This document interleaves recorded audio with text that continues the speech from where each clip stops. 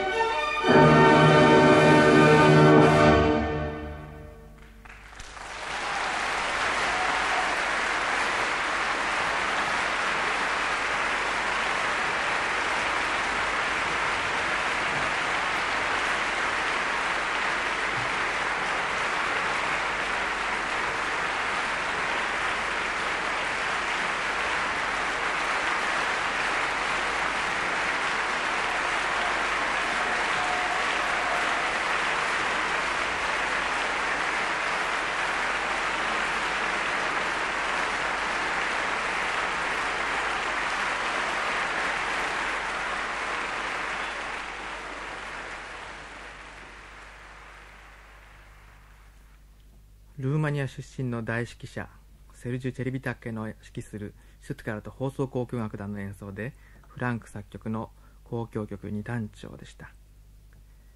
聴衆を金縛りにする儀式のようなチェリビタッケの演奏お楽しみいただけたと思います。